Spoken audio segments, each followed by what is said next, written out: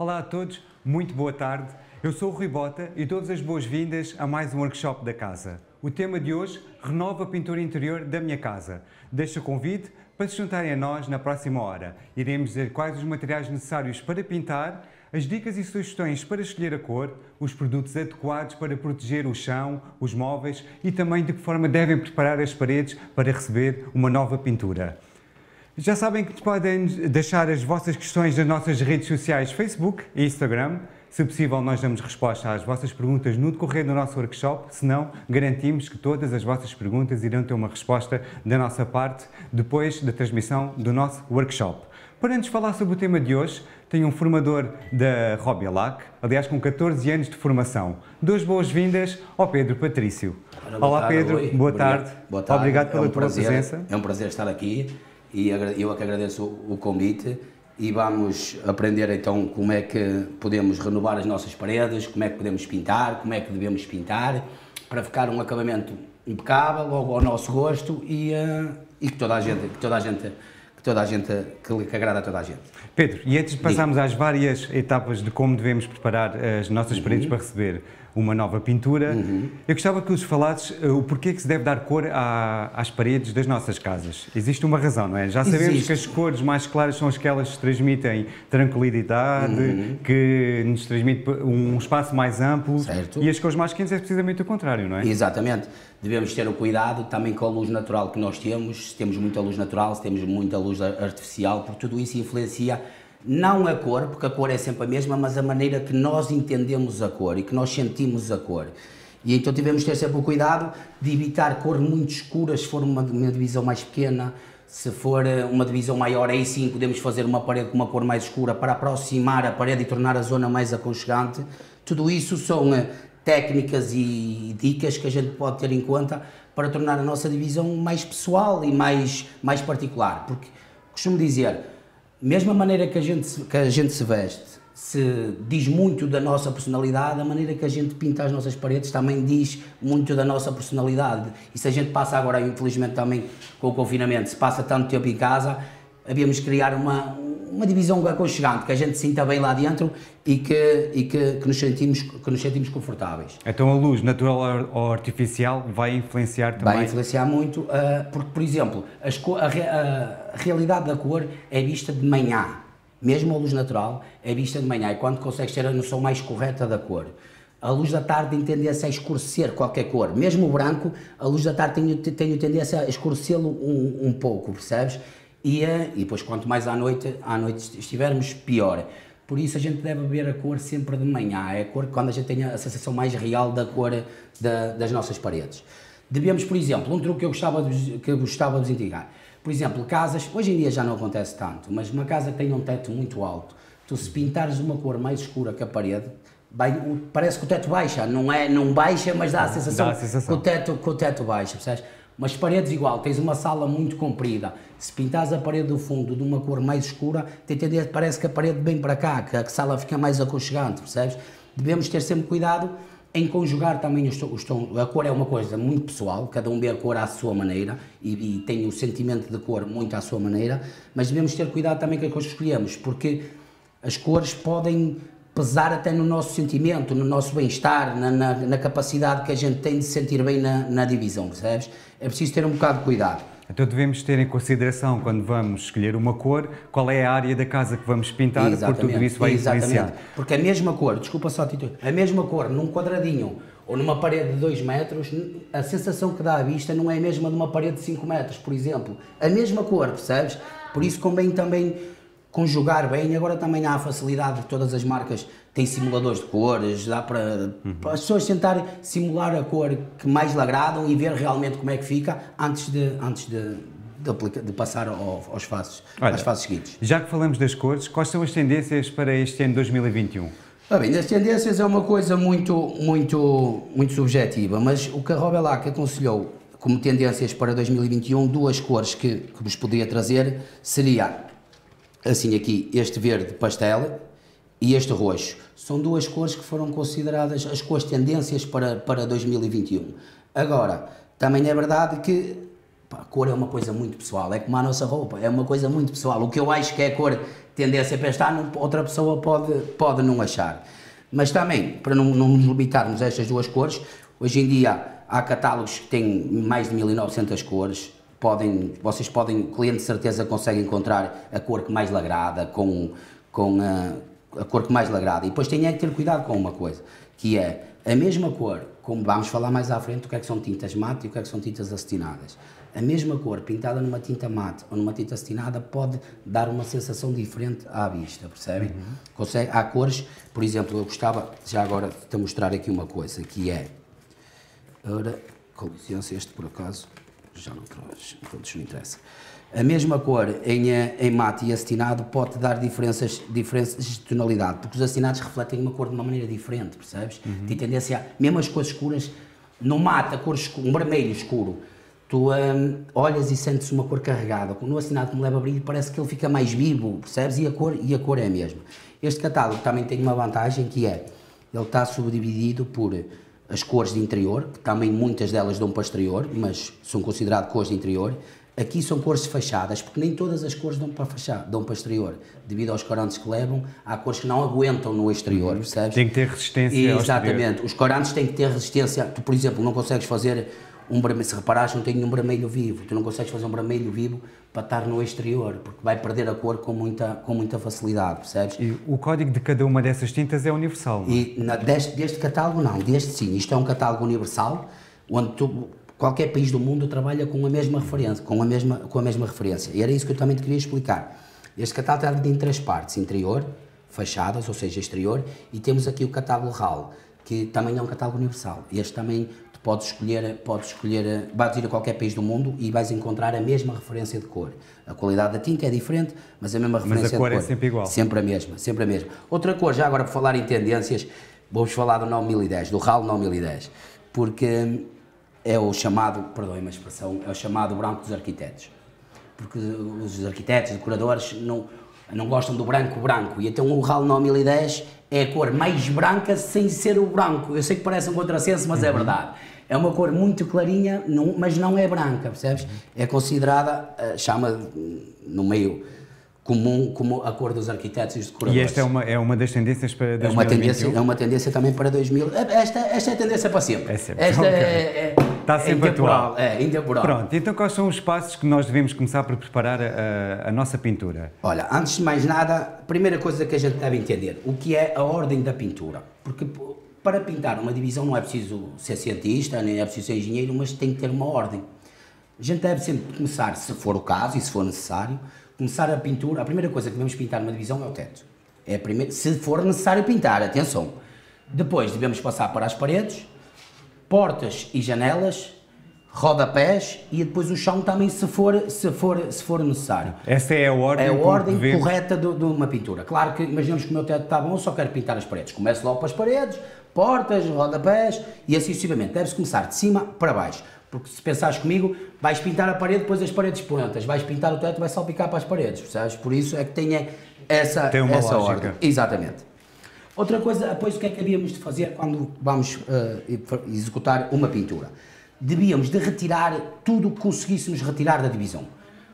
Molduras, tirar fora, os espelhos dos interruptores, retirar, uh, quadros, candeeiros que sejam possível retirar, devias de retirar tudo. Quanto mais limpa ficar a divisão, mais fácil é para a gente pintar e menos recortes temos que andar a fazer, porque vamos ver a posterior que os recortes é a coisa mais difícil de fazer numa pintura. Por isso, quanto menos recortes a gente tiver que fazer, mais fácil vai ser o trabalho, o trabalho que, que vamos executar. Objetos com uma maior dimensão devem ficar no centro. Né? Exatamente, né? era isso que eu ia dizer. Uma sala, por exemplo, com um sofá, ficaria no centro Exatamente, da sala. Exatamente, puxas tudo para o centro, para o centro da, da, da divisão e cobriria-se com plásticos de, de, cobertura. Tenho aqui, por exemplo, um, um exemplar. Seriam os plásticos. Estes plásticos são muito bons para cobrir móveis, camas, seja tudo o que for. Atenção, e aqui é a minha opinião pessoal não é uma regra, é a minha opinião pessoal. Há quem use este tipo de plásticos no chão. Eu no chão não aconselharia. E vou-vos explicar porquê.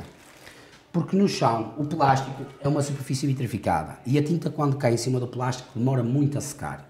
Ou seja, a gente está a pintar, a tinta caiu no plástico, a gente continua a pintar, vai calcar e depois vai, vai ficar na, na, no, no, sapato, vai por lá fora e vai apatanhar tudo na mesma, vai assujar tudo na mesma.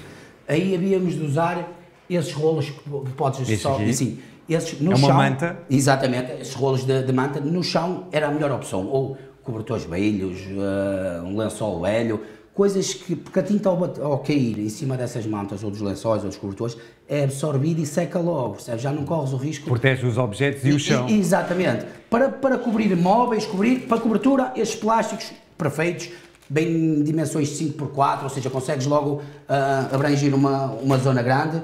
Agora, para o chão, eu não aconselharia plásticos. Não quer dizer que não se possa fazer, mas a minha opinião pessoal não, se, não sabia de, de, de utilizar.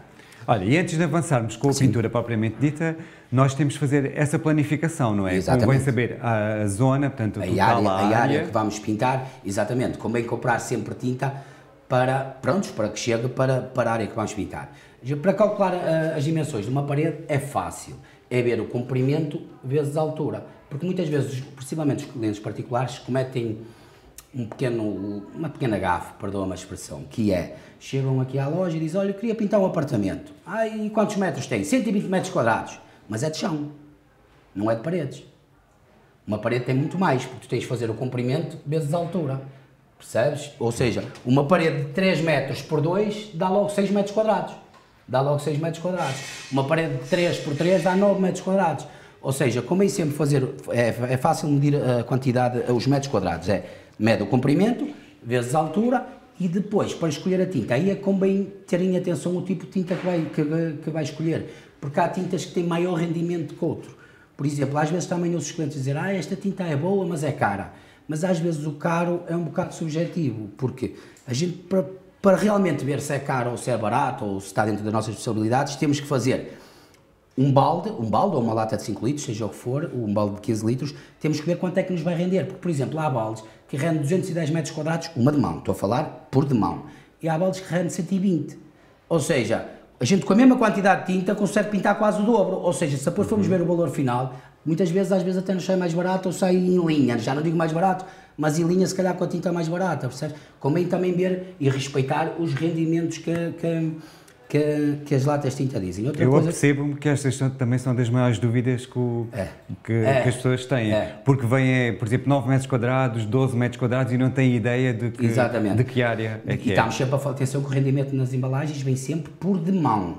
Ou seja, dando duas de mão, temos sempre que dividir a meio o rendimento, o rendimento que ela vai dar. Cuidado também sempre com uma coisa. Por exemplo, paredes areadas ou paredes texturadas têm um consumo maior de tinta do que uma parede lisa. Não sei se estão-me a fazer perceber. Uma, tinta, uma parede lisa consome sempre menos tinta para pintar do que uma parede areada. Uma parede areada tem sempre um consumo, um consumo maior. Tudo isso também vai influenciar. Depois a, a mão do pintor também influencia, mas, mas, mas também convém ter sempre esse cuidado. E é muito fácil tirar as medidas. É comprimentos. E também, por exemplo, agora o site do Leroy Merlin e de outras empresas tem chamam a mesma calculadora tinta onde te permite logo fazer as contas e descontar as portas e descontar as janelas e descontar, descontar isso tudo e dá-te logo o consumo, o consumo no- de- que tu vais gastar da- da pintura. Ok, então fazemos esta planificação Exatamente. e depois avançamos para a preparação da parede. da parede. Víamos, como eu vos disse ao primeiro, havíamos de retirar tudo o que podemos retirar, o que conseguirmos retirar, retiraremos tudo. Depois, o que é que havíamos de fazer? Desengordurar as paredes. E com isto eu não quero que ninguém me leve a mal a dizer que a casa das pessoas tem gordura, ou não é isso que eu estou a dizer. É normal, o filme da tinta, com o passar dos anos, vai retendo, vai, vai retendo sujidade, se fumares em casa, vai nicotina, o pó, tudo isso, o próprio sol, a própria luz natural, vai desgastando e vai fazendo o filme da tinta ganhar, principalmente numa repintura, fazendo ganhando sujidade. E devemos desengordurar e nunca devíamos desengordurar com produtos de casa. Explico-te porquê. Gente, os produtos que a gente usa do dia a dia de casa, eles engorduram muito bem, mas deixam uma camada de silicone para ajudar a não ganhar gordura. E essa camada de silicone que eles deixam não deixa a tinta aderir em condições. Ou seja, a gente havíamos de utilizar produtos que, apesar de desengordurarem, não, criem nenhum, não deixem nenhuma camada na superfície, da, no substrato, para que possas aplicar a tinta e não corres o risco de às vezes ter algum problema. Eu vou-te mostrar um produto que se chama Robi Lava. Acho que o nome não podia ser mais suge- sugeritivo. É que específico. Exatamente. Robilac e lava. Isto é um produto que é usado para desengordurar paredes. Agora, não é usado puro. Por isso é que existe latas de 0,25 e de litro. Mas eh, as de 0,25 são as mais vendidas. Porquê? Porque isto é diluído uma colher de sopa num litro de água. Ou seja, uma colher de sopa de produto, misturas num litro de água, mexes e depois aí é que fazes o desengorduramento, o desengorduramento da parede, percebes? Ou seja, isto tem um rendimento muito grande, por isso é a lata de 0,25 é, é, é, mais comercializada. Então esse será o primeiro, pra, o primeiro, primeiro passo, passo, na planifica? Sim, principalmente numa repintura. Uma parede crua, uma parede de, de, virgem, perdoa uma expressão, não seria obrigatório. Agora, numa parede que, tenha, que já tenha de pintura, ou seja, numa repintura, convém sempre desengordar as paredes. Sempre. É o primeiro passo. O primeiro passo. Segundo passo. Ora bem, eu até vou tirar daqui o quadrozinho para a gente ver o que é que vai acontecer por aqui. Com licença. A gente, quando foi retirar o quadro, quando foi retirar tudo, tem a parede com, com, com buracos, com fissuras, uhum. com... Neste caso não tínhamos, mas imaginamos que até tínhamos algum despelamento de tinta, ou seja, a tinta tinha descascado. E o que é que a gente tem que fazer? Tem que reparar tudo antes de pintar. Porque a pintura não tapa fissuras nem, nem disfarça imperfeições. A gente tem que reparar tudo previamente antes de pintar. E para isso, podíamos estar aqui, sei lá, três dias, mas vou-vos falar do, das gamas de massas mais corriqueiras e mais, mais tradicionais, perdoa uma expressão que, que os Existe muita oferta, não é? Muito, a, a panóplia da, da oferta é muito grande e claro que eu estou a mostrar formatos pequenos, mas isto depois existe formatos maiores e existe todo, todo, esse, todo esse, esse particular. Ora bem, vamos então falar aqui de umas massazinhas só antes de fazermos a aplicação, porque eu depois também vou-vos explicar como é que se faz a aplicação. Aqui, porque o que temos de ter cuidado nas massas é a capacidade de enchimento que elas permitem fazer. E gostava que me prestassem atenção agora no que eu vou dizer. Enchimento, ou seja, profundidade não me interessa nem a largura, nem o comprimento. Interessa-me a profundidade. E, por exemplo, esta massa é das massas mais vendidas no Leroy Merlin. Uhum. E, uh, e, muitas vezes é vendida para coisas erradas. Não, ou seja, o cliente leva isto para coisas erradas e fica decepcionado com a massa e a massa não tem culpa nenhuma. Porque esta massa que eu te vou mostrar dá para fissuras até 2 milímetros de enchimento. Ou seja, isto é mesmo para pequeninhas fissuras, pequenos descastes na parede se tapas um buraco de um parafuso, um buraco de um parafuso é estreito, mas tem muita profundidade. E se tapas com esta massa, o que é que vai acontecer? Ela ao secar tem tendência a bater, vai para dentro. E tu dás outra mãozinha e ela torna a bater e a terceira mão até fica bem. E o cliente diz, ah, esta massa está sempre a bater, está sempre, está sempre a bater porque ela não foi feita para ter tanto enchimento, percebes? Isto é uma massa para pequenas reparações. E agora eu gostava que me prestassem aqui um bocadinho de atenção. Isto aqui, o que eu vos vou dizer agora serve para qualquer massa, desde que sejam massas iguais ou equivalentes. Estas duas massas são as duas, é a mesma massa, só que esta é em pó e esta é em pasta. Como eu vos disse, em pasta dá 2 mm de enchimento, em pó dá 5 mm de enchimento. A mesma massa em pó dá sempre um bocadinho mais de enchimento, sempre. Tempo de secagem, 24 horas por milímetro de espessura. Tempo de secagem, 2 a 4 horas por milímetro de espessura, ou seja, em pó seca sempre muito mais rápido, muito mais rápido. E depois tem outra vantagem para os clientes que é, há pessoas que gostam de trabalhar com a massa um bocadinho mais dura, há pessoas que gostam de trabalhar com a massa um bocadinho mais mole, e com as massas por fazer ou em pó, tu consegues jogar um pouco com a densidade da massa. As já prontas não, é esta densidade e não há, e não há, não há que fazer, perdoa-me perdoa a expressão. Por isso é que eu digo que a única desvantagem das massas em pó é que tem que ser o cliente a fazer. É a única desvantagem. Uhum. Mas elas hoje em dia são muito fáceis. Elas na, na própria embalagem diz sempre as percentagens, por exemplo, aqui é duas Estas percentagens são específicas de para interior. Sim, sim, esta aqui, por exemplo. Agora as massas da, da, da Aquaplast bem é uniformizadas. Por acaso ainda bem que fizeste essa pergunta, Rui. Uh, antigamente, por exemplo, se era para interior ou exterior, umas diziam à frente, outras diziam atrás, outras diziam do lado, não era uniforme. Hoje em dia todas elas são uniformes, seja em pó, seja em pasta. Aqui à frente diz sempre se é de interior ou exterior, ou, do, ou dos dois. A capacidade de enchimento que elas permitem fazer é coisa que vem logo aqui na, na frente da embalagem. Até para vos ajudar a vocês, aos, aos, aos, colegas que trabalham aqui na loja, comerciais, às vezes mesmo tenham alguma dúvida a falar com o cliente, botam assim por quanto o olho e conseguem identificar, identificar isso. E bem sempre, uh, pois as características, o tempo de secagem, uh, uh, o consumo, bem sempre aqui de lado. Mas pronto, isto aqui também, esta massa já fala, esta é uma massa que é, muito, é indicada para pequenas fissuras. Já estamos já a fazer a aplicação dela, indicada para pequenas fissuras, nunca para buracos. Depois temos aqui o universal, que basicamente é do mesmo género que o cima, só que como o próprio nome indica, dá para tudo, é universal. Dá para paredes, azulejos, madeira, ferro, dá para todo tipo de materiais. Cuidado com uma coisa, por exemplo, que isto é muito usado para, nos azulejos, para fazer barramento de azulejos, de paredes de azulejos. Como ela só dá 2 milímetros de enchimento, por vezes a junta do azulejo está, tem mais. Então o que é que a gente terá que fazer? Encher previamente só a junta do azulejo, ou seja, facear a junta do azulejo, deixar secar e depois dar um barramento pela parede toda. Percebes? Não convém fazer logo o enchimento total da parede, porque senão no sítio das juntas ela pode-te abater podes correr o risco dela te abater. Essa aí já dá para exterior, não é? Esta já dá para interior e exterior, exatamente, Rui. Depois, temos aqui o fibra, que, como o próprio nome indica, é uma massa que é reforçada com fibras. E qual é a vantagem? Ela diz mesmo para fissuras rebeldes e com movimento. O que é que são fissuras rebeldes e com movimento? Principalmente junto aos pilares, pilares das portas, das janelas, há muitas oscilações. As casas não estão paradas, as casas têm movimento, senão caiam abaixo. As casas têm que ter movimento. Os caminhões a passar na rua, a gente a bater com as portas, tudo isso faz oscilar as paredes. E uh, há sempre aquelas fissuras que a gente tapa e ela torna a aparecer no mesmo sítio, a gente tapa e ela torna a aparecer no mesmo sítio. Para esse tipo de fissuras o fibra é uma boa opção, como ele é reforçado com fibra de vidro, ele vai jogar melhor com, a, com o movimento das paredes. Eu trago-vos aqui uma amostra mas este produto pode ser utilizado em qualquer fenda? Em qualquer fenda, em paredes. Já não dá para azulejos, nem, nem, nem para nada disso. Mas em paredes. Eu trago-vos aqui esta amostrazinha, onde tipo, fizemos o preenchimento. É muito usada em madeira, principalmente se a madeira for ser pintada. Porque se for ser invernizada, não, porque ela tem é um branco sujo a cor dela.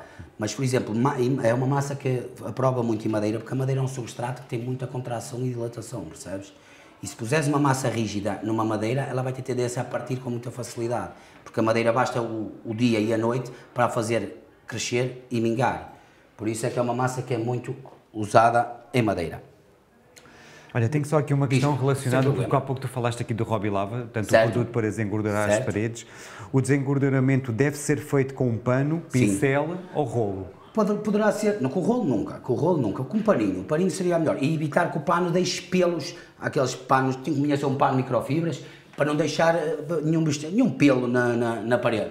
E fazer ali o desengorduramento normal, não é preciso andar a esfregar, perdoem a expressão. Passar pela parede toda para, para tirar a gordura e deixar é fácil aplicação. Sim, sim, muito fácil aplicação. É como se estivesse a passar água na parede, perdoem a expressão, mas é um desengorduramento. Trocar é o pano por exemplo, se for a, casa toda, não andar sempre uma pano, senão ele cantá já tem tanta gordura que em vez de estarmos a desengordurar, estamos a engordurar. Depois, agora gostava que tu fizesses-me um favor, Rui. Que me pegasses nestas duas massas. Sentes a diferença? Uh, Muitas é vezes eu gosto sim. de brincar com os clientes. Eu gosto de brincar com os clientes. É mais pesada esta muito mais. do que esta. Elas vêm as duas cheias e trazem o mesmo em volume. Ela vem cheia em volume. Agora, esta massa ou pluma é uma massa muito leve, parece espuma da barba, até vos posso mostrar já aqui, eu vou fazer a aplicação, mas posso-vos mostrar já aqui a, densidade da massa. Parece a espuma da barba, não é que eu uso muita, mas, mas prontos, mas, mas parece espuma da barba. A sensação que eu tive é que a embalagem está vazia. É, é, muitas vezes eu gosto de brincar com os clientes, eu faço demonstrações em loja e gosto muitas vezes de brincar com os clientes e dizer assim, ah, ora toma, e eles pegam assim, ah, está vazio, não está nada, está, está cheio. Porquê? Porque esta massa é a única massa desta gama que não tem limite de enchimento. Tu podes tapar um, um buraco, uma fissura com 2 mm com 10 cm. Não tem limite de enchimento. Percebes? Por isso é que ela é assim levezinha, porque, por exemplo, no teto, tu tapares com uma, se tapares fissuras com uma massa normal, ela tem tendência a bater, porque a gravidade puxa, puxa para baixo, a pendurar-se. Esta aqui não. Ela é muito fácil e vamos, ela até está aqui aplicada. Vocês conseguem ver, por exemplo, uma, massa convencional espalha mais pela parede toda, o pluma tu aplicas no sítio da fissura ou do buraco, passas a espátula, ela fica quase só no sítio da, da, da, quase que não é preciso passar lixa a seguir. Mas a gente também vamos falar agora já disso, agora aqui à frente. Então é uma grande vantagem em relação é, às outras massas. Exatamente. Tem uma, a única desvantagem que ela tem é que todas as outras massas que eu, que eu te mostrei até agora permitem fazer, além de tapar buracos e fissuras, fazer barramentos. Ou seja, tu cobris uma parede toda com, com aquele tipo de massa. O pluma não. O pluma só dá para fazer enchimentos, fissuras e buracos, não dá para fazer barramentos. Eu, por exemplo, tenho aqui uma amostra do, do, do standard, do standard, que era esta aqui, que vos mostrei ao primeiro. Por exemplo, eu fiz o barramento aqui na madeira. Com o pluma eu não conseguia fazer um barramento. Não conseguia fazer isto que está aqui, percebes? Com o pluma não conseguiria fazer barramentos. O pluma é mesmo só para enchimento de fissuras e buracos. Uhum. Não, não permite... Como a densidade dela está feita para encher buracos, ela não, consegue, ela não permite ser espalhada pela, pela parede, percebes? Não, não permite não permite ser aplicado. Trouxe, tenho aqui também uma amostra de várias situações onde apliquei o pluma, como vejo buracos maiores, buracos mais, mais pequeninos, até deixei metade à vista para vocês conseguirem verificar. O pluma, ele fica só quase no sítio dos buracos, percebes? É muito fácil, muito fácil de, de, de trabalhar. Aqui só foi utilizado o pluma? Aqui só, aqui só, só foi utilizado o pluma. Pedro, eu tenho aqui uma questão também relacionada aqui com a, com a, parede de pladur. As minhas paredes são de pladur, como devo proteger e que tipo de tinta devo usar? Mas eu precisava só de saber se o pladur nunca foi pintado. Se nunca foi pintado, teria que ser, vamos falar mais à frente, teria que levar um primário e depois a pintura. Já há tintas que aderem diretas ao pelador. Quer dizer, elas aderir, na realidade, até aderem todas. O único problema do pelador, aqui a gente só tem uma placa, mas imaginemos que nós tínhamos a parede toda forrada. No sítio da junta leva aqui massa com uma fita para disfarçar as juntas. E o que é que acontece se não colocarmos o primário? Ele no sítio das massas vai absorver diferente do sítio do, do, do, do, pelador propriamente dito, percebes?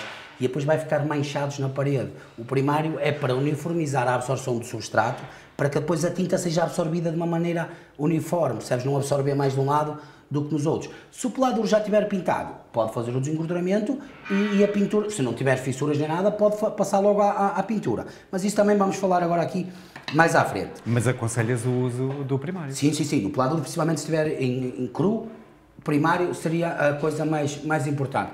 Porque o primário vai uniformizar a absorção para que depois a tinta seja absorvida de uma maneira uniforme e que dê logo um acabamento bonito. Agora, gostava, já que estávamos a falar de massas, eu vou fazer aqui a aplicação de duas massas diferentes para, para vocês verem como é, que, como é que se deve ser aplicado uma massa. Ora bem, temos aqui a embalagem, abrimos a embalagem, retirarmos um bocadinho de, de, massa, a quantidade que precisamos, e como é fazer a ativação da massa. Basicamente, a ativação da massa, da massa não é mais, não é menos do que tu espremê-la aqui entre palustras, que é a massa, quando está na embalagem, não tem o processo de secagem ativado. Convém ativar a massa até para ela ficar mais molezinha e para permitir ser, ser trabalhada. Outra coisa que se deve fazer, tapar a embalagem. Não se deve, aqui como era pouca coisa, também não havia muitos problemas, mas não se deveria fazer, andares aqui a tapar buracos ou fissuras nas paredes com as embalagens abertas, porque o ar é que faz secar eh, a, a, massa dentro, dentro da embalagem. Depois, para fazer a aplicação aqui, por exemplo, nesta fissura, a massa deve ser sempre aplicada na perpendicular à fissura. Percebes? Como, por exemplo, a fissura está neste sentido, tu chegavas aqui, fazias a aplicação da massa, vamos aplicar já na outra também, fazíamos aqui a aplicação da massa, e depois aí sim, limparias a espátula e depois, até vou usar a outra que é maior, que é mais fácil, e depois farias a,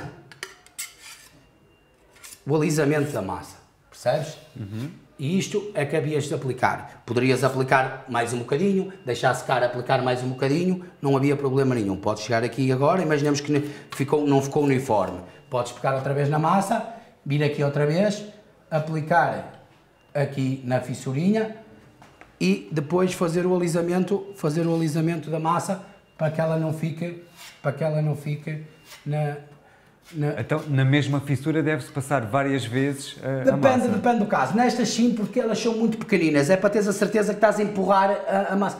Uma coisa que a gente também devíamos fazer, neste caso, no pelador não é tão, não é tão eh, necessário, mas nas paredes em cimento seria necessário. Que seria avivar a, a fissura. O que é avivar a fissura? Vou-te explicar. Deixa-me só limpar aqui, se faz favor. E, uh, e eu vou-te explicar o que é avivar a fissura.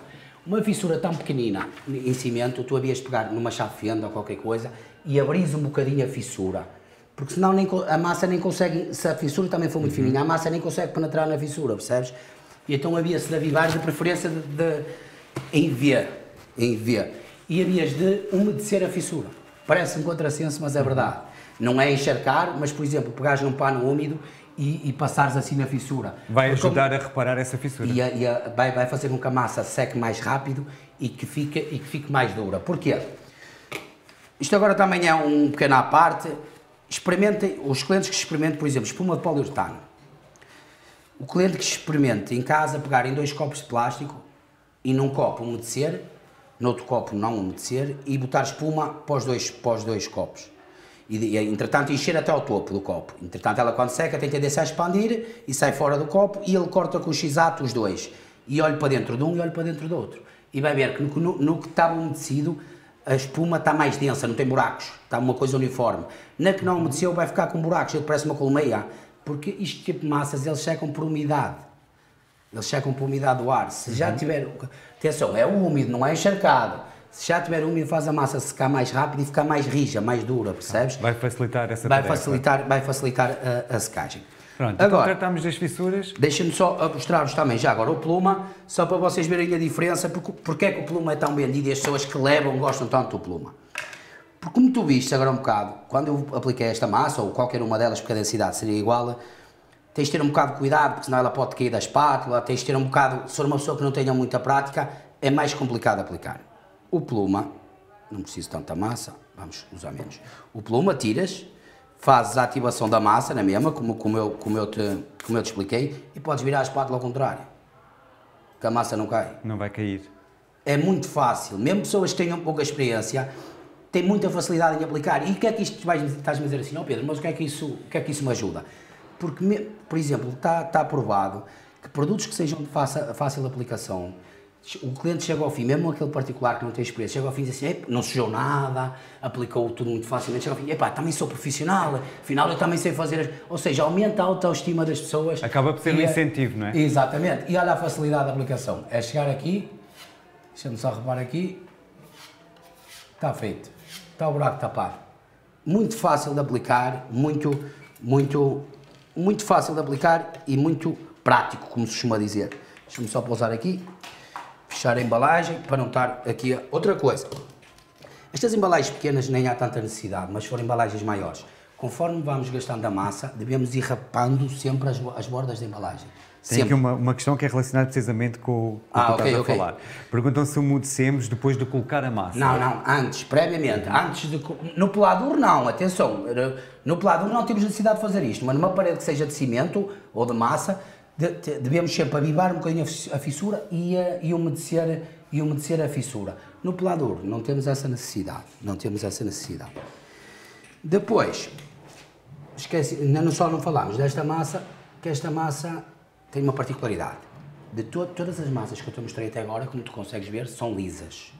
Esta não, esta é areada. Ou seja, tens uma parede areada, tens uma fissura, queres usar, eh, queres, queres disfarçar a fissura, se aplicares qualquer massa daquelas vai ficar liso ali. Esta não, fica areado. Não te consigo garantir que o areado é exatamente igual ao que tu tens na parede, mas disfarça sempre melhor.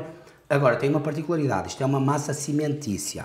Não dá para aplicar em peladouros nem nada, só dá para aplicar em suportes cimentícios. Cimento, tijolo, bloco, botão, não dá para aplicar em peladouros. Só mesmo em cimentos, percebes? Porque é uma massa à base cimentícia. Não dá para aplicar em peladouros. Hum, Rui, Preparamos fendas, fissuras, ainda falta só, falta, deixa-me só falar desta massa, te peço perdão, só porque esta massa tem uma particularidade que, que, eu não vos disse, que eu não vos falei, que é, eu já vos tinha dito que o Universal permite aplicar em azulejos, mas tinhas de ter o cuidado de, de tapar a junta, ah, previamente a junta do azulejo, por causa que ela só dava 2 mm de enchimento. O Express em pó, dá para aplicar também adere a todo tipo de materiais, só dá para interior, não dá para exterior, só dá para interior. Agora, como ela dá um enchimento até 5 centímetros, não é 5 milímetros, é 5 centímetros. Não tens de ter o cuidado de fazer o preenchimento prévio das juntas, podes aplicar logo, logo diretamente, percebes? Ou seja, tem uma, é uma tinta, é uma massa que é muito usada e tem a vantagem que mesmo os 5 centímetros checa em 3 horas. Ou seja, é muito usado por profissionais, porquê? permite que o profissional tape as fissurinhas logo de manhã, ou faça o barramento logo de manhã, passar 3 horas já pode estar a lixar e a dar a primeira de mão, ao fim do dia já pode estar a dar a segunda de mão. Ou seja, não há perca de tempo à espera que as massas, que as massas seques, percebes? É uma massa, eu costumo dizer, se o cliente tiver um buraco maior, que atenção que não me interessa nem a largura, nem o comprimento, interessa-me a profundidade. Se tiver um buraco com, com, com mais profundidade que 5 cm, que ponha um tijolo, já tijolo 7, mete um tijolo e já, e já não precisa. 5 centímetros é muita coisa. Também dá para aplicar, eu tenho aqui o Express, também dá para fazer o alisamento de paredes rugosas, por exemplo, aqui neste caso o que é que, o que, é que se fez? Como uma parede era muito rugosa, dá-se uma primeira de mão mais rapada, ainda conseguias ver ah, alguma textura da, da, da parede antiga, depois dás uma de mão mais rapadinha, está feito. Era só agora aplicar tinta e aplicar, aplicar primário e depois, e depois tinta. Também é 10 sobre azulejos. Rui, até aqui, estamos entendidos?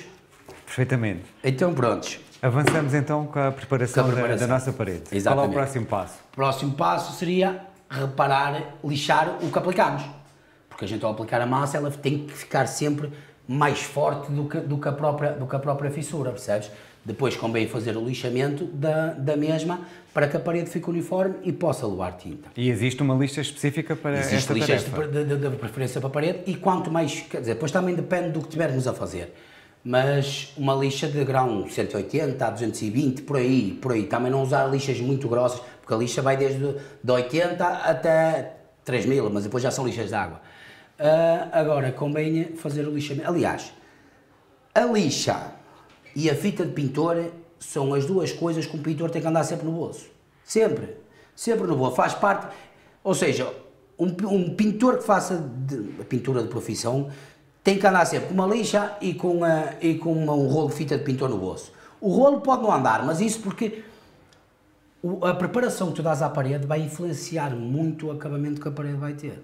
Porque se ela se deixa, por exemplo, agora chegava aqui e dizia assim, "Oh, não é preciso lixar a parede, vamos botar a tinta para cima. Esta mancha aqui nunca mais vai sair. E é que depois tu lixares, depois de teres tinta, é muito mais complicado. Muito, tu agora vais, vamos pegar na lixa, vamos pousar aqui e vais ver que corta bem a massa. Se eu chegasse aqui e pintasse, depois para lixar é muito complicado. É muito complicado.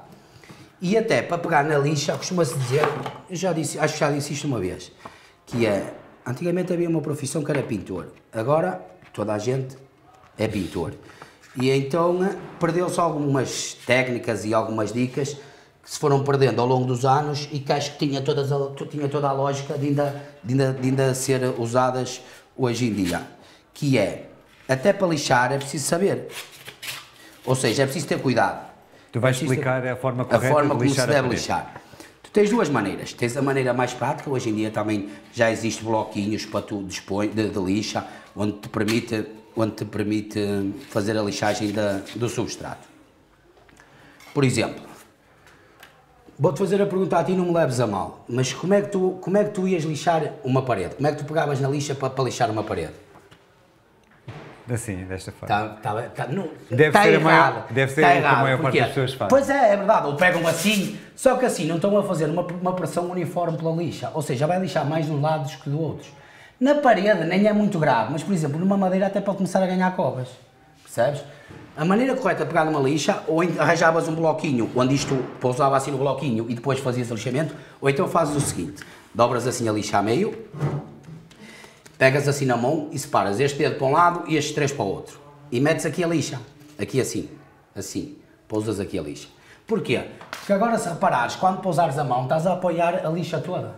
Estás a fazer um movimento constante e uniforme por toda a superfície. E já te permite fazer outra coisa. As fissuras devem ser sempre lixadas na- na- em movimentos circulares. Nunca deve ser no sentido da fissura, percebes? Deve ser sempre em movimentos circulares fazias o lixamento e depois lixares assim, tens outra vantagem, tu estás a passar, por acaso aqui a gente, a área é pequena, mas imaginemos que a área era maior, eu já tinha lixado aqui e agora tinha passado para esta, tu quando estás a passar a lixar aqui, estás a passar este bocado da mão aqui, sentes que está liso, se às vezes tivesses deixado algum bocado para lixar, sentias e consegues vir atrás para, para retificar, percebes?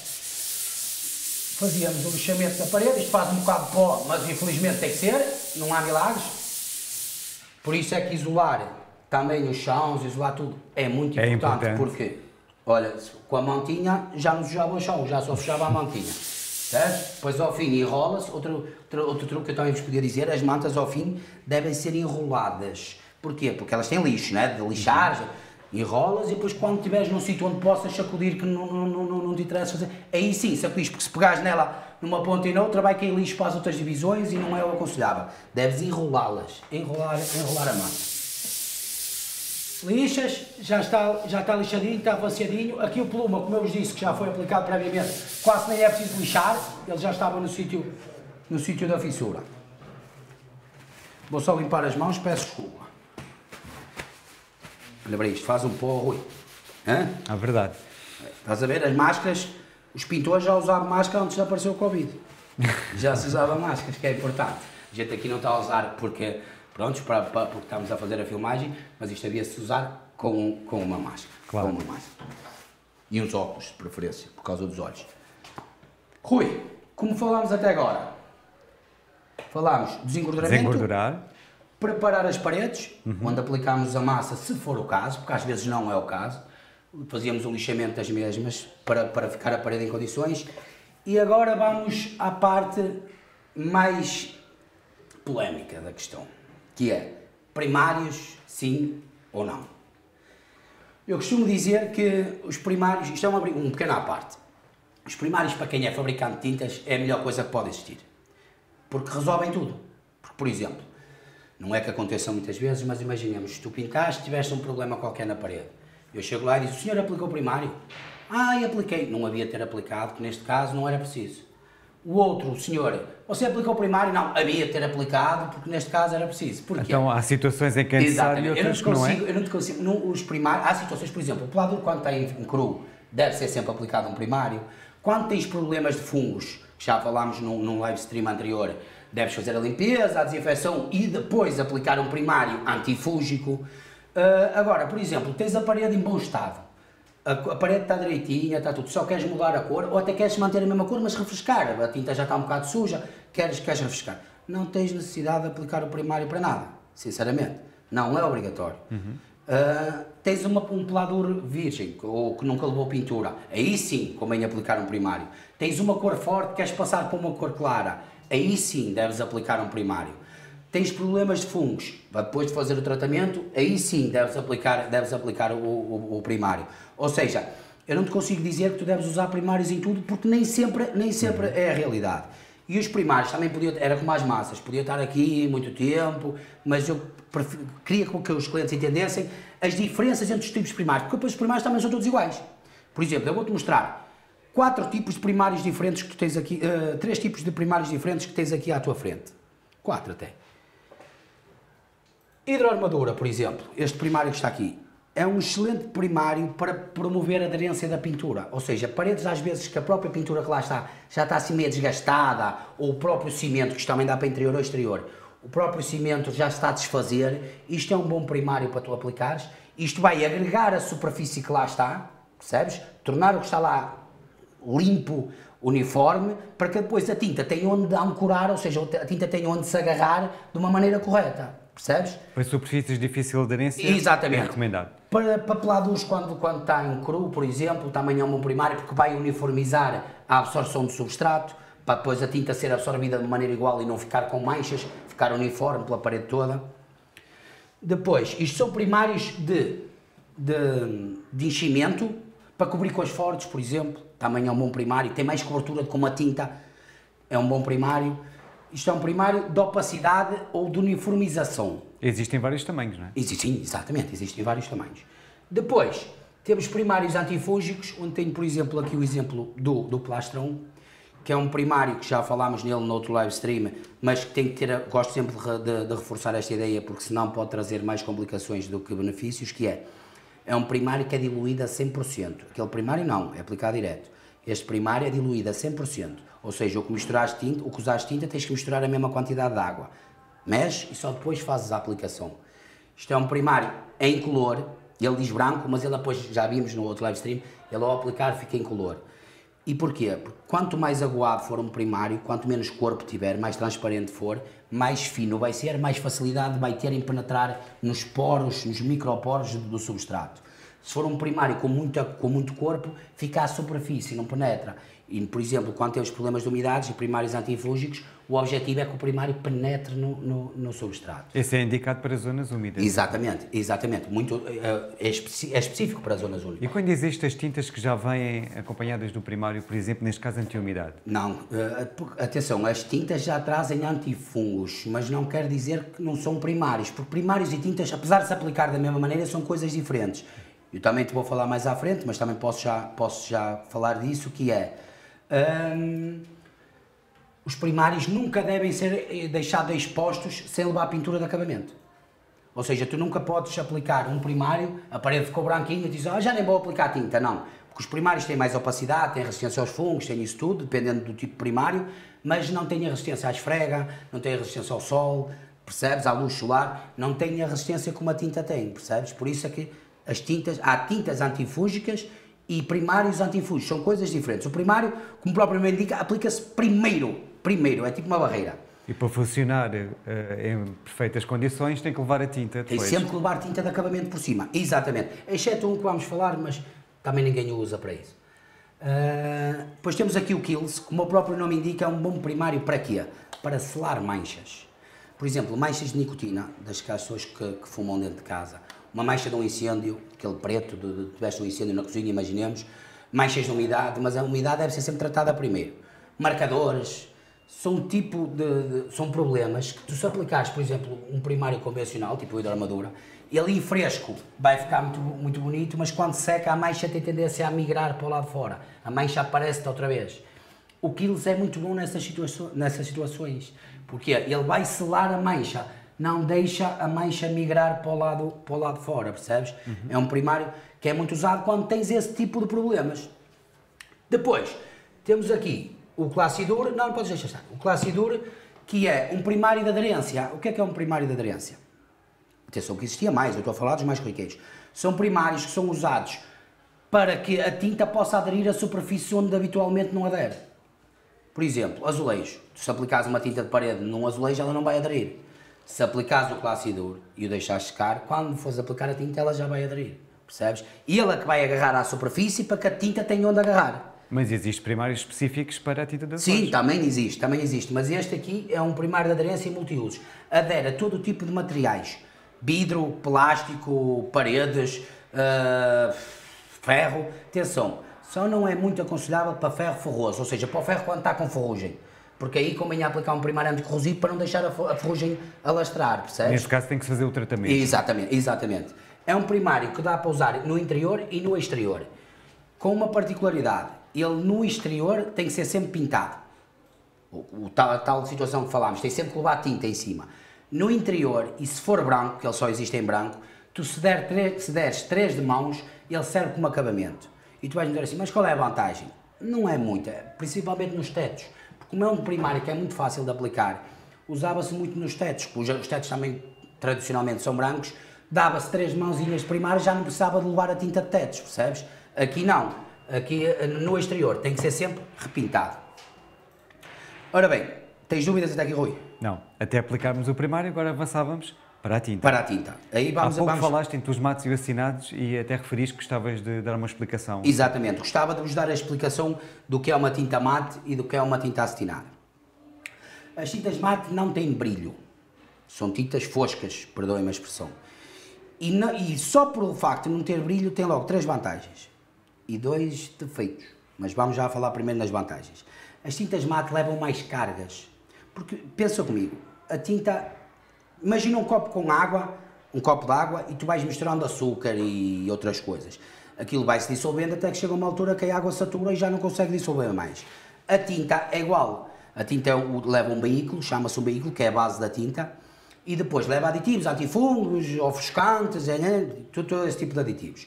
E o que é que acontece? Acontece que as tintas mate, como levam mais cargas, têm sempre mais poder de cobertura. Tu consegues, por exemplo, tinhas aqui um amarelo, imaginemos, e queres pintar de branco. Com uma tinta mate, com duas de mão, consegues cobrir bem o amarelo, percebes? Se fosse com uma tinta assinada, já tinhas que dar quatro ou cinco de mãos e mesmo assim ias notar sempre ali aquele amarelado por baixo, porque elas são tintas mais limpas, não têm tantas cargas, não têm tanto poder de cobertura. Agora, os acetinados também, como não levam brilho, permite disfarçar melhor as imperfeições da parede e da própria pintura. Ou seja, não notas tanto as imperfeições. Os acetinados, como levam brilho, basta ter aqui uma fissurinha, uma cova, quebra ali o brilho e parece que notas mais, parece que tu olhas para a parede e puxa mais os defeitos, os defeitos para a vista, percebes?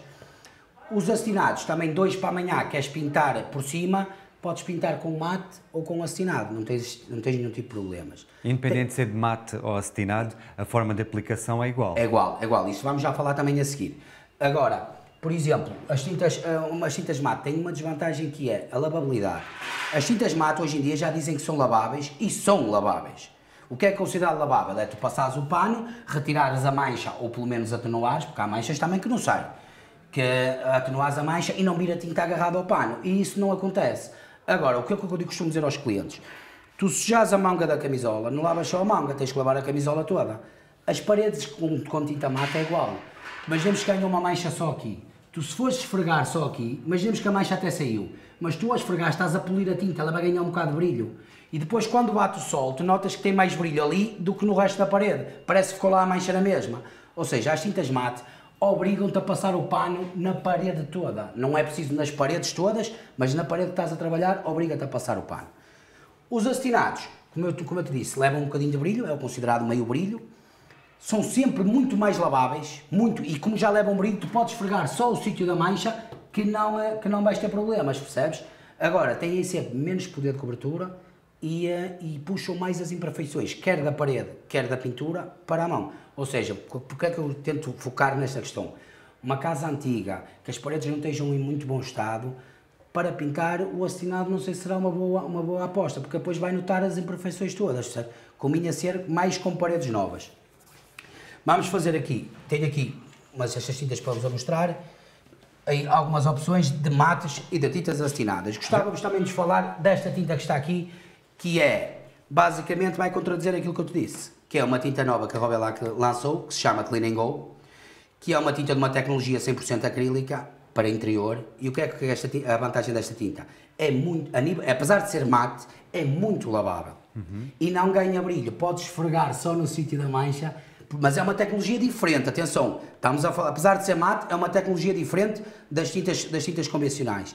Por isso é que é uma tinta que é, tem bastante resistência às manchas e é muito lavável. Oh Pedro, já que se fala na lavagem eh, da resistência das sim, tintas, sim, sim, há sempre aquela associação entre as tintas plásticas serem associadas à lavagem. Não tem, não tem não, nada a ver, não é? São não, coisas completamente diferentes. São coisas... Tinta plástica é a tecnologia da tinta. Eu sei que parece um contrassenso falar em tecnologia em pintura, mas existe. Uhum. Porque a tinta a plástica é a tinta convencional que se, que, se, que, que, pronto, que se faz. Pois é, existe é tintas vinílicas, por exemplo, que levam resinas vinílicas, tintas xiloxânicas, que levam resinas, na sua composição levam resinas xiloxânicas, tintas acrílicas, que levam resinas acrílicas, percebes? Depois o que muda nas tintas é o, o tipo de resinas que, que, tu, que tu... E é isso que faz a diferença na resistência à lavagem, a composição. Exatamente, exatamente. Agora, vocês também já devem estar fartos de só ouvir, vamos fazer aqui a aplicação, para vocês também gostava de explicar Ora bem, já fizemos ali, já desengorduramos, já, já aplicamos a massa, já lixamos. Primário, sim ou não, neste caso até já tinha aqui uma mãozinha de primário. Vamos fazer a aplicação de uma tinta, também para eu tentar dar algumas dicas de como é que se deve fazer a aplicação de uma tinta. Olha, quando preparas, tenho aqui uma questão. Sim, sem problema. O que fazer para tornar uma parede pintada cor escura em clara? Por exemplo, passar de preto para branco. Combina aplicar um primário ou pacificante, um primário ou pacificante, ou seja, um primário que tenha bastante poder de cobertura, aplicar o primário, deixar secar e depois aplicar a tinta, a, a, a tinta branca em cima. Era o, o, ideal. Era o ideal a fazer-se. Ora bem, vamos lá então. Preciso aqui de um bocadinho de papel. Vamos lá fazer aqui vos tentar explicar também algumas dicas de pintura que eu gostava que vocês aprendessem lá em casa para que vos permita, vos permita depois também fazerem o, o vosso trabalho com mais facilidade, com mais, mais segurança. Existem várias cores? Existe, isto é afinado. Esta, esta aqui foi afinada. Afinei em azul, porque é uma cor que é muito usada em quarto de crianças e, um, e eh, pronto, escolhi essa cor devido a esse, a esse motivo. E vou fechar a embalagem. E agora vamos fazer aqui a aplicação. Vou tentar fita de pintor, uhum. previamente. Vou pintar aqui este bocado por aqui abaixo, só para vocês verem. verem uh, outra coisa, deve-se perder bastante tempo a isolar tudo que seja rodapés e tudo, porque quanto melhor a gente isolar ao início, menos trabalho vamos ter ao fim. Porque imaginemos que não isolou bem o rodapé, pintou a parede, quando tá, a parede já está prontinha, quando vamos a tirar a fita, o rodapé está sujo. Vamos lá limpar o rodapé, fechamos a parede. E depois torna-se um ciclo vicioso. Quanto melhor fizermos o a limpeza e, o, um, e, a, e a proteção, menos trabalho nos dá, nos dá no fim. Eu diria até que seria um dia para estes trabalhos e o outro dia para pintar, não, não é? seria Não seria uma má opção, não seria uma má opção. Vamos fazer aqui a pintura aqui deste bocadinho, para vocês conseguirem observar, peço desculpa só por estar a perder um bocado de tempo, mas também para ficar uma coisa um bocadinho direita, para que se consiga ver. Aqui a parede é alta, é boa, se pintar. Outra coisa que se calhar os clientes vão perguntar, extensor ou não extensor? Uhum. Qual é que é a tua opinião? Eu gosto de extensor, mas, mas temos de ter cuidado com uma coisa, o extensor tira sensibilidade à mão. Ou seja, tu se não tiveres cuidado, quando estás com o extensor, fazes mais pressão na parte superior, aqui no meio começas a aliviar a pressão, devido ao movimento, percebes? E em baixo começas a fazer pressão outra vez. E pode não deixar uma camada uniforme pela parede, pela parede ficar mais tinta em cima, menos tinta em baixo, e, e mais tinta em, eh, menos tinta no meio e mais tinta em baixo outra vez. Até essa dificuldade pode-se verificar quando se pinta um teto. Exatamente, exatamente. Por isso é que os tetos também é das superfícies mais difíceis de pintar, porque tu perdes sensibilidade da mão, percebes? Outra coisa, as paredes devem ser pintadas em faixas de 60 ao metro. Ninguém vai andar de fita métrica, mas devem ser pintadas. E de preferência, e sempre possível, de cima a baixo. E então, o que é que a gente deve fazer? Deve fazer, espremer aqui o rolinho, espremer bem. Porquê é que se deve espremer aqui o rolo? Sabes? Porquê? Para uniformizar a tinta no próprio rolo, principalmente porque o meu rolo é novo, tu se fores à embalagem ou ao tabuleiro logo diretamente para a parede, ele não, tem a, não absorveu a tinta de uma maneira uniforme e vai, vais ver que as primeiras roladas não fica a tinta de uma maneira uniforme na parede. Então o excesso de tinta iria prejudicar a pintura? Exatamente, exatamente. Deves fazer a pintura, como eu vos disse, de preferência de cima a baixo, de cima a baixo, e deve-se passar várias vezes no mesmo sítio? Deves fazer de maneira que, tinta, que, tu sintas que a tinta ficou uniforme, percebes? Que deixaste, estás a deixar a mesma quantidade de tinta pela, pela, pela parede toda.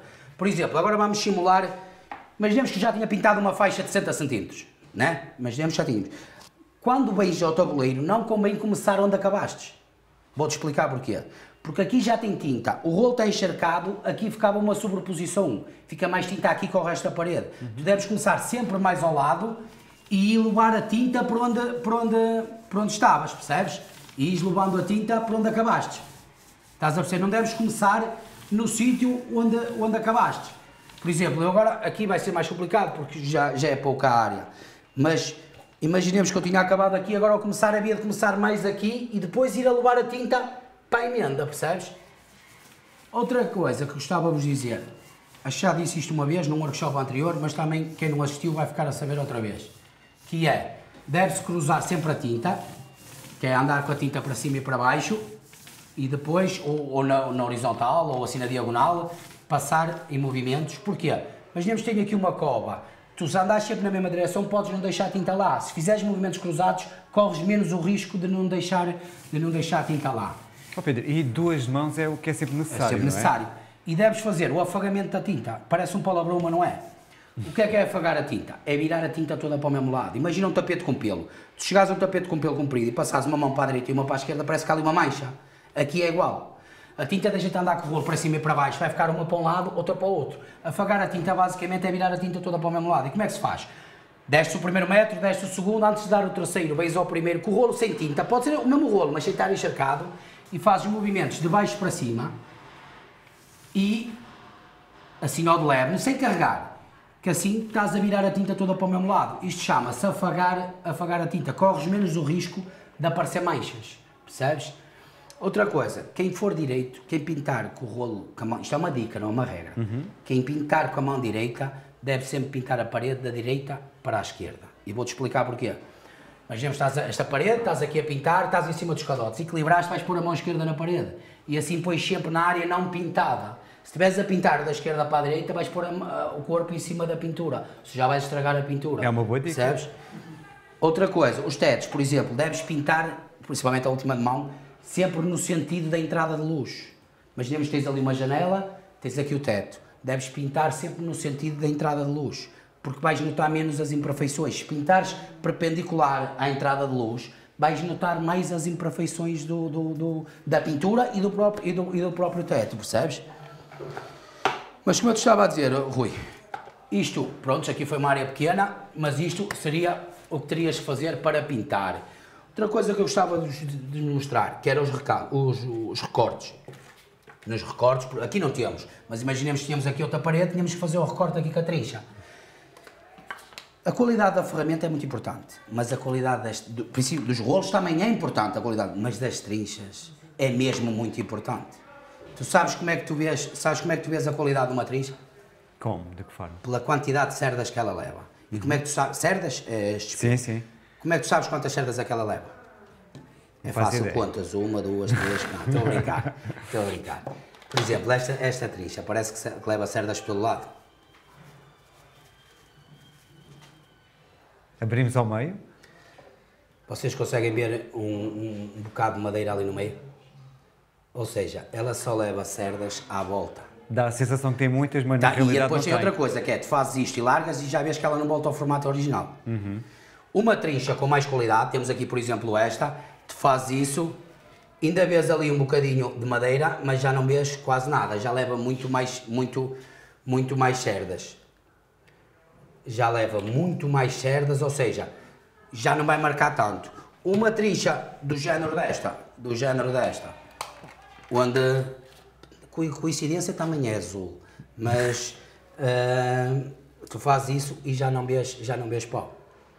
Ou seja, leva cerdas todo. E quanto mais cerdas levar, tem lógica, como tu vais fazer este movimento, ela, as cerdas pousam todas na, no substrato. Se for esta, só pousas de baixo e as de cima já bate. Ou seja, já vai marcar, vai ficar muito marcado, percebes? E isso é fundamental para. Porque os recortes é a coisa mais difícil de disfarçar. Se, se, o material não tiver qualidade, ainda muito difícil é de, de, de disfarçar. Olha, tem aqui uma questão. Que cuidado devemos ter ao tirar a, a, fita de pintura para ficar perfeita? Muito bem. Muito, uma pergunta muito boa Porque mesmo. Por vezes fica muito boa. distinta agarrada. Neste caso, eu, também como o tempo é um bocado mais limitado, não pude explicar também se calhar o que eu gostaria de explicar. Mas, por exemplo, imaginemos que tu querias até fazer uma lista na parede. Imaginemos que querias fazer uma lista na parede. Como é que tu farias? Agora também assim, rápido. Imaginemos, colocavas aqui a fita, colocavas aqui a fita e colocavas aqui a fita e aqui a fita e querias fazer aqui uma lista de uma cor diferente. O que é que terias que fazer para, correr, para não correr o risco que a tinta passe debaixo da fita e ficar uma, uma, uma, uma linha... Um trabalho perfeito. Uma lista perfeita mesmo, parece a fio de prumo, como se costuma dizer. Era, mas aqui a parede é branca, se fosse outra cor tinha que ser com outra cor, mas aqui a parede é branca, era pegar em tinta branca, com um pincelzinho, e passares aqui. Passar só aqui em cima da, da, da, da fita. E aqui igual com branco, com a cor do fundo, percebes? Deixar secar e depois podias pintar à vontade com a cor que quisesses, que ela, como já tens aqui o branco, ela não te deixa espirrar a cor por baixo da fita. Tu quando tirares a fita, a parede, a parede ia estar, a, a lista ia estar 100% direita. Na extremidade estaria. Exatamente, estaria ia estar 100% direita. Mas aqui a fita, tirar a fita neste caso. A fita deve ser sempre retirada, não assim, não deves retirar a fita assim, mas deves retirar a fita assim a fazer tipo um triângulo. Vês aqui? E retiras a fita assim. Claro que não deves puxar aqui embaixo, aqui já, por exemplo, já terias que... Vais sempre puxando perto da... da ora, por exemplo, aqui. Vais sempre puxando, chegas aqui, já combina agarrar aqui. E puxando, e agarrar, e puxando, e agarrar. E aqui exatamente a mesma coisa. Vais puxando e a, a fita estaria, estaria, estaria pronto. E era assim que devias retirar a fita. Nunca deves retirar a fita assim. Nunca se deve retirar a fita assim. Mais questões, Rui? Tens mais alguma questão? E aqui mais uma.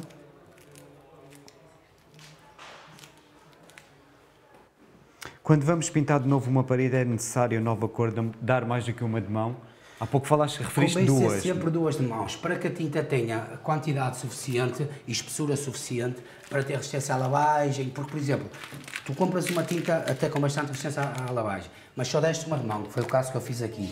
A espessura de filme é muito pequenina, ou seja, não vai ter a mesma resistência que se tu desses duas de mão. As tintas são preparadas para ter a resistência com duas perdão, com duas de mão, no mínimo duas de mão. Há tintas que às vezes até temos que aplicar mais de mãos, atenção. Por exemplo, se tiveres uma cor muito forte e não, não aplicares primária e aplicares logo a tinta, às vezes pode ser que dar uma terceira de mão, uma quarta, depende. Outra coisa que a gente também não falou, as tintas devem ser, atenção, eu estou a falar de, das tintas com qualidade, tintas já, porque depois há tintas mais fracas. Então, antes de avançar, eu estou só a colocar uma questão relacionada com, uh, com o que tu tiveste a falar. As tintas que vêm mencionadas, que já são as monocamadas, não é? Que basta uma de mão, tu aconselhas?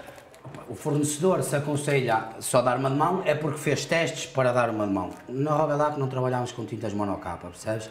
Não, porque depois também o pintor, tu se disseres a um pintor de profissão para ele não diluir a tinta, até pode vir ali na lata expressamente proibir diluir, que ele vai diluir a mesma. E muitas vezes que tem o mito de que ele dilui a tinta para a tinta render mais, não é. É para, para dar acabamentos mais, mais lacados à parede. Porque uma tinta diluída, tu até se calhar podes ter que aplicar uma terceira de mão, porque estás a, a misturar as águas, estás a tirar a opacidade. Mas a nível, ela demora mais a secar, tens mais tempo para trabalhar com a tinta, dá acabamentos mais fininhos à parede cada vez, ou seja, a tinta é mais aguada, dá um acabamento mais fininho, dá acabamentos mais lacados à parede, mais bonitos. Se aplicares a tinta sem diluir, corres o risco que apareça aquela casca laranja no fim, que fica, a tinta parece que fica um bocadinho áspera. Depois também as não é, monocamadas visível, têm... não é visível na altura, mas depois de secar. Exatamente, as monocamadas muitas vezes têm esse problema, é que elas têm muito cobertura, é verdade, mas o acabamento por vezes deixa um pouco, deixa um pouco a desejar. Ok. Olha, Pedro, vamos ter que ficar por aqui. Eu quero te agradecer Obrigado, muito. obrigado eu. Temos muitos elogios, muitas, Obrigado. muitas respostas a- a- em relação ao teu trabalho. As pessoas Obrigado. gostaram imenso das, das tuas dicas e sugestões. Muito obrigado, Obrigado eu. pela tua presença. Esperemos ver-te em breve. Muito Igualmente. assim, muito obrigado por ter estado na nossa companhia. Já sabe que marcamos encontro no próximo sábado às 15 horas. O próximo será dia 6, com o tema Impermeabilizo o exterior da minha casa. Muito obrigado pela sua companhia. Fique em segurança e uma boa tarde.